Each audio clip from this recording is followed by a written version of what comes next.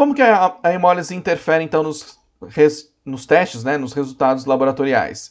Uh, ela pode liberar os componentes da própria hemácia em si, então a gente vai ter um aumento de eh, AST, vai ter um aumento de ALT, lactato desidrogenase, magnésio, fósforo, potássio, são componentes diretos mesmo das próprias células que foram liberados. Professor, esses componentes em si liberados, eles alteram o resultado desses exames já diretamente? Sim, mas eles também aumentam a concentração de substâncias presentes lá no plasma ou no soro, por exemplo. Uh, eles também alteram a concentração de outras substâncias, levando à diluição, porque o líquido intracelular vai ser liberado também. E aí eu tenho é, virtualmente menos glicose, menos sódio, proporcionalmente menos cloreto, que são substâncias mais é, concentradas no líquido extracelular. Como eu liberei líquido do intra, a quantidade de plasma vai ser maior, aumentou o líquido,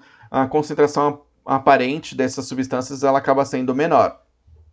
Ainda, eu vou liberar é, enzimas como proteases que vão degradar proteínas. Elas degradam, por exemplo, troponina, e aí altera o resultado de alguns exames que mensuram, por exemplo, troponina.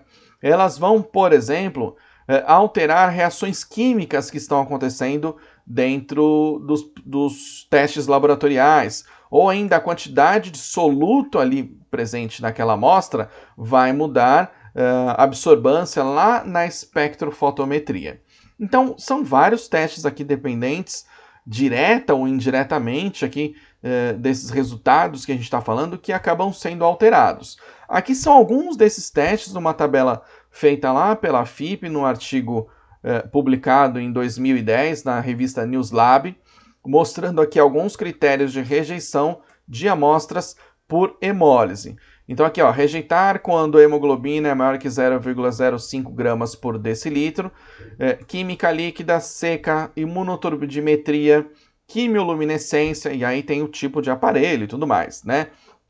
E aqui, rejeitar quando a hemoglobina está maior que 0,8 gramas por decilitro. Aí eu tenho nefelometria, imunofluorescência indireta, ELISA. Então você consegue perceber, por exemplo, que eu tenho vários testes aqui, ó, que são mais de imuno, digamos assim, que são mais para sorologia, que podem ser alterados quando tem mais de 0,8 eh, gramas por decilitro de hemoglobina. E aqui, quando tem 0,05 gramas por decilitro, vários exames bioquímicos e vários exames hormonais. Então, sim, eu altero um monte de tipo de exame.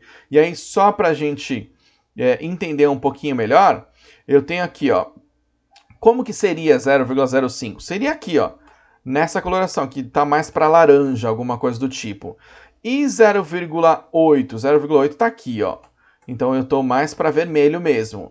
Então na bioquímica em si, hormônios e vários outros parâmetros bioquímicos, quando eu tenho uma amostra mais alaranjada, um plasma, um soro mais alaranjado, eu já vou rejeitar essa amostra. Aí uma pergunta que pode estar passando na sua cabeça, professor, e se for hemólise, não de coleta em si, mas hemólise em vivo, isso já tem que ser anotado, porque eu não tenho muito o que fazer, eu tenho que processar essa amostra. Só que alguns desses parâmetros podem sair alterados. Os resultados laboratoriais aqui, sim, eles podem sair alterados, tá bom? Se você quiser, depois desse artigo aqui, eu vou. Escreve aqui nos comentários que eu te passo o link para você baixar, tá bom?